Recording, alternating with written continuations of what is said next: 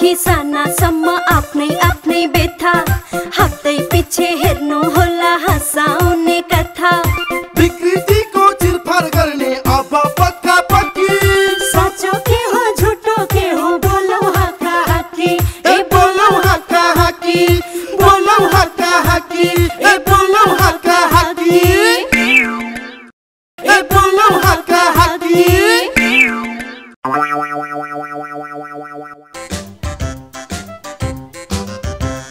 है वडा ज्यू नमस्कार नमस्कार। अनि दसैँ कस्तो भयो त? कस्तो हुनु नि सचिवज्यू? दसैँ त दसैँ जस्तै भयो। कहाँ तिहार जस्तो हुन्छ। ए अध्यक्षज्यू रमाइलो कुरा गर्नुहुन्छ। मैले त दसैँमा के के गर्नुभयो कसरी दिन बिताउनु भयो भनेर पो सोधेको हो त। त्यो त तपाईँलाई थाहा छँदैछ नि एक्लो मान्छे। आफू त कहीँ गइएन। बहिनी चाहिँ घरमै आइहाल्नु भयो दसैँमा कोही कतै नजाउनु भनेर ओडासिल गर्न खोजेको तपाईँले नै तोडिहाल्नुभयो। सचिवले नै नियम तोडेपछि गाउँले के टेरुन् ए भनेपछि अझै रिस मरेको छैन होइन तपाईँको? म पनि हेरौँला के के गर्नुहुन्छ? म पनि कम छैन। हो त्यसै भन्नु न। तपाईँ हामीमा फुट भयो भने घाटा अरूलाई होइन तपाईँ लिएर हामीलाई हुन्छ। हेर्नु सचिवज्यू यस्तो महामारीको बेला छ सङ्क्रमण दिन प्रतिदिन बढिरहेछ। यो सङ्क्रमणबाट आफू पनि बच्नुहोस् र अरूलाई पनि बचाउनुहोस्। नमस्कार है वडा अध्यक्षज्यू नमस्कार नमस्कार। बसौँ। तपाईँ त चाँडै आइपुग्नु भएछ इन्जिनियर भाइ। अब के गर्ने अध्यक्षज्यू अहिले आफूलाई भ्याइ नभई भएको छ। बरु बाटो कहाँदेखि कहाँसम्म बनाउने हो? बाटो नाप्नु पर्ला जस्तो छ। यति छिटो नाप्न जानेर भने कोही त हुँदैन होला यतिखेर। अब के गर्नु? फिल्डमा गएर नाप्न पाएको हुँदैन। मेरो जग्गा यति गयो उति गयो भनेर उफ्रिन थाल्छन्। बरु कोही नभएको बेलामा गयो फिल्ड हेरेर आयो। त्यही राम्रो अध्यक्षज्यू त्यही त यो विकास निर्माणको काम गर्न साह्रै गाह्रो छ भने। सचिवज्यू हिँडिहाल्नुहोस्। तपाईँ र म गएर नपाइहालौँ नत्र उहाँलाई नै नाप्दै लाने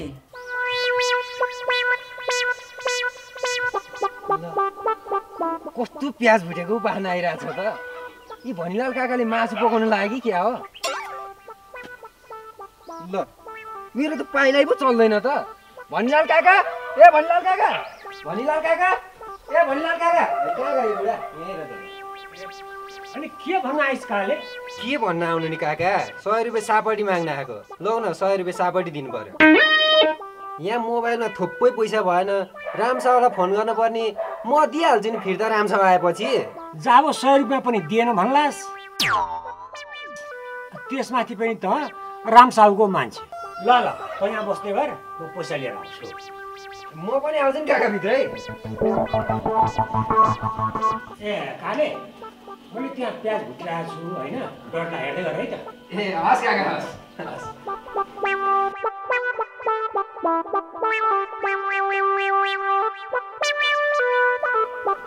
अब यस्ता मर्ने बेला भएको बुढालाई यत्रो मासु खानुपर्ने। ए काका कुकुरले झोला बोक्यो है? मासु बोक्यो म कुकुर पछि गएँ तपाईँ पनि आउनु है?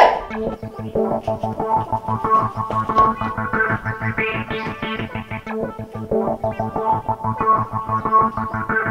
कालेले मासुको झोला भेटाउँछ कि भेटाउँदैन? है? प्याज डढ्न आँटे जस्तो पो छ त। ओहो, काले दाइ, झोलामा के ल्याउनु भयो अब तिम्रो दाइ खैराले घरमा नभए पनि एक छाक मासु त खुवाउनु पर्यो भनेर ल्याएको नि। काले डन पो हो त म त। मलाई शङ्का लागिरहेको थियो तपाईँले मासु ल्याउनुहुन्छ भनेर। कतै फटा काम गरेर त ल्याउनु भएको होइन नि यो मासु? फटा काम चाहिँ होइन बहादुरीको काम गरेर लिएर आएको। तिमीलाई म चोर जस्तो लाग्छ? हुन त अनुहार हेर्दाखेरि चोर जस्तो लाग्छ होला तर यो काले डन त्यस्तो छैन। आजसम्म कसैको पसिना खानु परेको छैन। सरी है काले दाइ नरिसाउनु न। ल ल ल ल ल ल छिटो पकाउ मलाई यहाँ कस्तो भोलाइसक्यो कि ल जाउ त पकाइहाल ल ल अलि छिटो पकाउ है। म त्यहाँ बाहिरसम्म गएर आउँछु। ओहो हारे नेता झोला बोकेर कता? कता हुनु नि? यी खसीको खुट्टा किनेर ल्याएको दसैँको खसी सिद्धेर खुट्टा खान लाउनु भएको खुट्टामा झोला हालेर मजासँग बुढीले खुवाउनु पर्यो क्या। खुट्टाको झोल भन्दा त टाउको झोल पो मिठो हुन्छ त। मिठोको लागि हो त। बुढीलाई रोग खोकी लागेको छ। खुट्टाको सुप बनाएर खुवाउन ल्याएको। ए रुगा खोकी लागेको? ज्वरो त आएको छैन नि। खै निदा त छाम्या छैन। आएको छैन होला।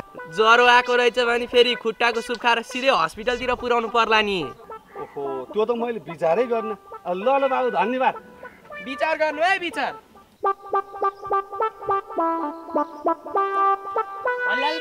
के खोज्दै हिँड्नु भएको अब के खोज्दै हिँड्नु नि बाबु? कुकुरले मासुको झोला लिएर हिँड्यो। काले पछि लागेको थियो। अब त कालाले भेट्यो कि भनेर अब कालालाई खोज्दै हिँड्यो नि। ए तपाईँको मासु कुकुरले चाहिँ होइन। कुकरमा चाहिँ पाकिसक्यो होला। के भने यहाँ सम्पन्न बाबु? मैले त कुरो बुझिनँ नि त। कुरा के हो भने? ओहो कालेटन कसको झोला चोरेर हिँडेको? चुप्लाक बढी बोल्छ। म चोर जस्तो छु। यहाँ मासु खान मन लागेर मासु किनेर लिएर आएको। तपाईँको झोला बोकेर काले खैरातेको घरतिर जाँदै थियो। ए कुकुरले झोला बोक्नु भनेको त त्यो कालेले पो झोला बोकेर हिँडेछ त्यसलाई मैले जानेको छु ए पाके मासु ए पाक्यो भनेर कसरी थाहा पाउनुभयो ल बस बस अनि रिसी खै त कहाँ त्यस्तो आउरे बाउरेलाई खानु बोलाएर हुन्छ अहिले बाँकी बस्यो भने हड्डी चाहिँ दिउँला नि बरु मासु चिउरा हालिहाल्दा त भोग लगाइसक्यो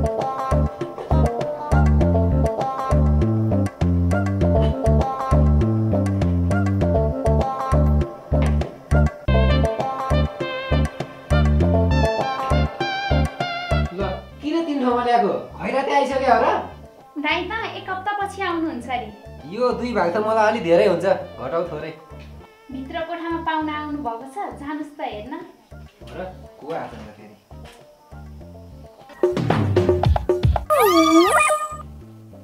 ए मासु चाहिँ कुकुरले नै लगेछ तर कुकुर चाहिँ कालो पऱ्यो। ए बोलौ हक्का हक्की। ए बोलौ हक्की अनि जानु। कस्तो छ नि तिमीलाई? धेरै जरमरो नगर न। अनि तिमीलाई केही खानु मन छ?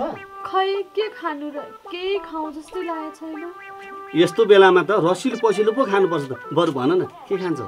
भयो कि हजुर अहिले केही पनि खान्न। बरु बेलुका खसीको खुट्टा लिएर चाहिँ मजाले सुप बनाएर खानुपर्छ। भइहाल्छ नि जानु। अलिकति कलेज पनि लिएर आऊ कलेज पर्दैन खसीको खुट्टा मात्र लिएर सुप खानलाई ए ल ठिक छ। जहाँबाट भए पनि म खसी खुट्टा ल्याउँछु नै। होइन के ल्याउने कुरा हुँदैछ यहाँ? के हुनु नि भाउजू? जानुलाई खसी खुट्टा खानु लाग्यो अब त्यही कुरा भइरहेछ। ए ज्वरो त आएको छैन नि। ज्वरो आएको मान्छेलाई माछा मासु खुवाउनु हुँदैन नि फेरि। ज्वरो छैन हल्का रुगा मात्र हो। त्यही भएर सुप खाऊ भनेको। अनि दिदी कति कामले आउनु भयो काम त केही छैन। तिमीलाई सन्चो छैन भने भएर हेर्न आएको। अहिले तिमीलाई कस्तो छ बहिनी? बिहानसम्म अलिक गाह्रो थियो अहिले त धेरै ठिक भइसक्यो। ए अनि जनको झोल बनाएर खानिदिनु भयो त बाबु?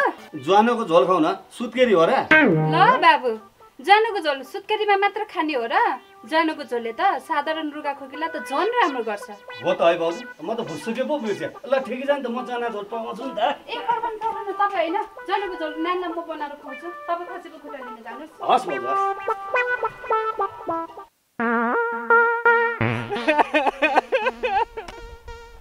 के हो?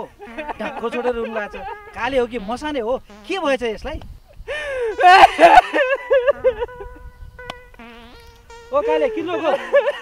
ओ काले डन के भयो? किन रोको? के हुनु नि अब गाउँमा अलिकति मिल्ने भनेको त्यो एउटा ऋषि मात्रै थियो। लौ के भएर मर्यो ऋषि? कहाँ मर्नु नि आँगनमा घोप्टो परेर ढलिरहेको छ। लौ न अध्यक्ष दिउ के गर्ने होला? ए छरछिमेकीलाई बोलाएर जताउनु लैजानु पर्दैन। डोबाटामा बसेर। मसान रोए जस्तो रोएर बसिरहने हो र। अब छर छिमेकीहरू सबै काममा गएका छन्। बिहानसम्म केही भएको थिएन। एक्कासी घोप्टो परेर ढलेको छ। ए भाइ केही भएको छैन होला। लै हिँड जाउँ। यस्तो बेलामा त रामसाउ भएको भयो नि बचाउँथ्यो होला कि बरु? रामसाउ नै चाहिन्छ त। म पनि त यो ओडाको ओडा त छेउ नि के मैले सहयोग गर्न सक्दिनँ? लै हिँड जाउँ। जाउँ। ओहो नमस्कार है हाल नेताज्यू नमस्कार नमस्कार। अनि के छ राजु तेरो हाल खबर? के हुनु नेताज्यू हाल यहीँ छ खबर चाहिँ पत्रिकामा खोज्नुपर्छ। त त कस्तो जवाफ दिने भइछस् भाउ अनि त चाहिँ कता नि? कहाँ हुनु नेताज्यू ती माथिसम्म नि। अनि तपाईँ चाहिँ कता नि? म त बुढीलाई खुट्टीको रस खान मन लाग्यो अरे। अनि खसी खुट्टा किन जान्ला अस्ति भर्खर दसैँ सकेको फेरि खुट्टा खानु पर्यो अरे? के भन्नुभएको? किन? दसैँ सकिएपछि मासु नै खानु हुने हो र। हुन्छ तर सिङ्गे खसी ढालेको देखेको थिएँ। त्यही भएर सोधेको। त्यो खसी त पुर्णेको दिनसम्म त पुग्दै पुगेन नि। अब जो पनि आउँछन् नेताजी नमस्कार भन्दै आउँछन् अनि सबैले खुवाउनु पऱ्यो नि त। भोटको पनि त सवाल छ नि। त्यहाँ माथि खैराँतेले फस्ल्याङ फुस्लुङ पारेर एक खुट्टो त लगिहाल्यो नि। खोइ हामीलाई त वास्तै गर्नु भने यसपालि तपाईँले। तँलाई वास्ता नगरे होइन नि त। तँ आउनु पऱ्यो नि त भाइ। मैले तपाईँले बोलाउनुहुन्छ अनि आउला भनेर सोचेको थिएँ। अब तँ आउँछस् होला भन्ठाने थिएँ। अब तँ आएनस् म के गरौँ? तँलाई मैले दसैँमा नबोलाएर पिर पराए भए ल भइहाल्यो। अब माया सङ्क्रान्तिमा आइज नि त। माया सङ्क्रान्ति आउनु त अझ धेरै पो बाँकी छ त। त्यही भएर त बोलाएको नि। त्यो बेलासम्म मेरो दसैँ र तिहारको खर्च पनि त मेकअप भइसक्छ नि। हुन्छ हुन्छ। म माया सङ्क्रान्तितिरै आउला नि।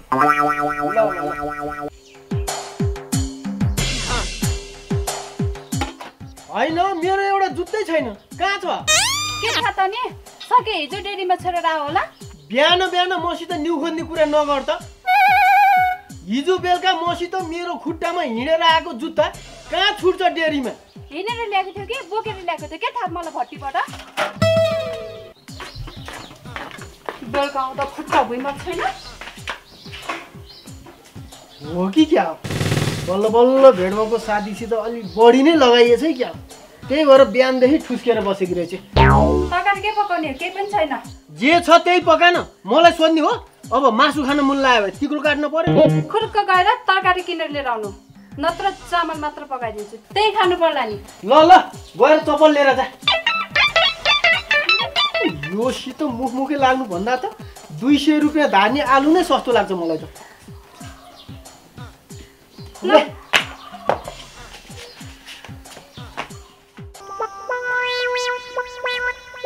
खै हेर्नु त अध्यक्षज्यू बिहानदेखि घोप्टो परेको अहिलेसम्म घोप्टो परेको परै छ।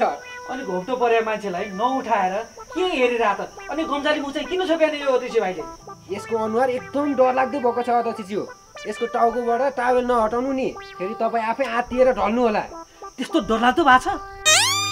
सास त फेर्दैछ जस्तो छ अध्यक्षज्यू अब फेरि यस्तो महामारीको बेलामा हस्पिटल पनि सकेसम्म नजानु भनेका छन्। अब के गर्ने त? डक्टरलाई घरमै बोलाउने हो कि के हो अध्यक्षज्यू अलिअलि पैसा दिनुहोस् न त। मसँग पैसै छैन। आफै त महादेव उत्तान उटाङ कसले देऊ भयो चिन्ता नलिनु न अध्यक्षज्यू यो सिग्री रहेछ अब यो सिग्री दिनुहोस् न मलाई। यो सिग्री देखाएर भयो भने डक्टर त बोलाउनु पऱ्यो नि अध्यक्षज्यू ल ल ल ल मैले दिएँ।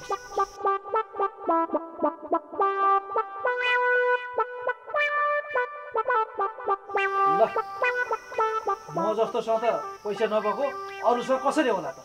ल त अध्यक्षज्यू तपाईँ यसलाई हेर्दै गर्नु म गएर आउँछु है त। ल ल ल छिटो आउनुहोस्।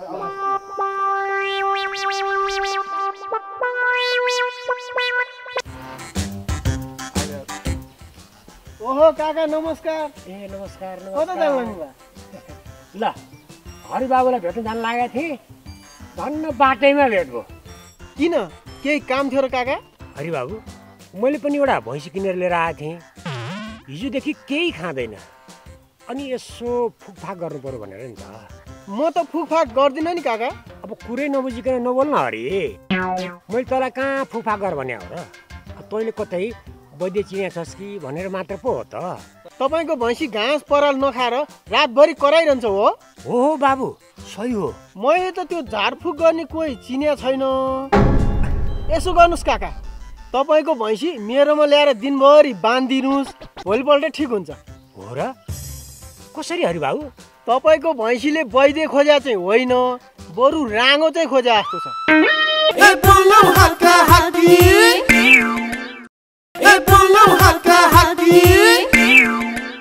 खोइ त यति बेलासम्म पनि आइपुगेन काले।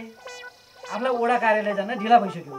सधैँ यसरी ढिला भयो भने सरकारी छड्केमा भन्दा नि युट्युबरको छड्केमा परिएला भने पिर। यो मोरो त हलचल पनि गर्दैन। कतै मऱ्यो भने ओडा अध्यक्षले मान्छे मार्यो भनेर भनी पो हुन् कि? आ काले रङ छँदैछ नि। त्यो कालेको नि के भरोसा गर्नु? केही जानी मरिहाल्यो भने त ज्यानमा र केस पो लाग्छ त मलाई। एकचोटि उठाइहाल्नु पऱ्यो अब एकचोटि उठाएर हेर्नु पऱ्यो ओ ऋषि भाइ ओ ऋषि भाइ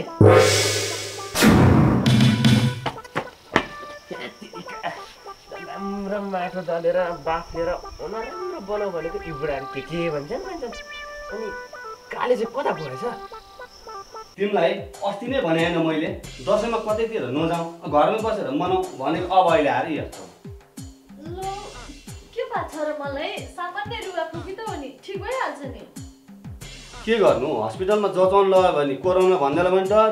छ्या हजुर पनि। मेरो माइतीमा को सङ्क्रमित छन् र कोरोना लाग्नुलाई? दादा मात्र त हो। कतै कोरोनाले पो छोयो कि जानु? एकपल्ट टेस्ट पो गर्ने हो कि?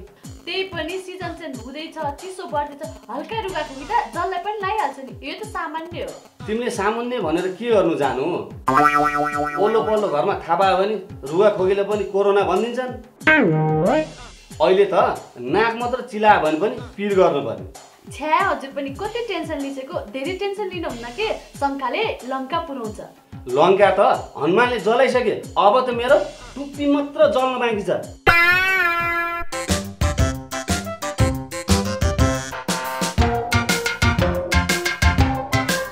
होइन के हो मन्जु यो दसैँ तिहारको मध्येमा मासु भात खाएर नबसेर पानी थाप्नु पो आएको छौ त।